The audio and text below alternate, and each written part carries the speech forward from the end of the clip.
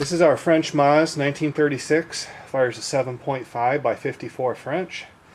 Uh, it was in service with the French military from 36 to 78. Saw very little use during World War II. French uh, surrendered after 42 days. It was primarily used in the colonial wars after the war. Uh, Vietnam, Indochina, uh, African colonies, etc. It's a very odd bolt shape that you'll see shortly. Internal tube bayonet, press the button, comes out, reverses and goes in there. Turn it around.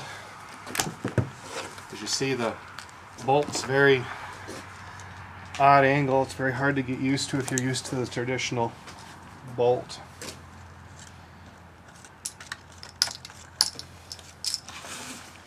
Here's the ammunition.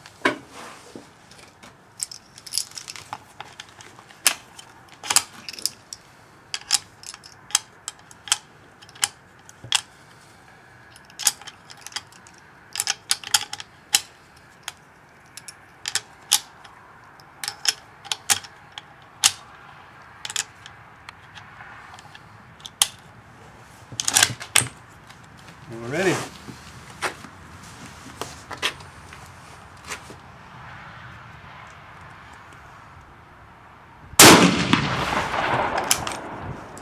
Very odd angle, hard to get used to.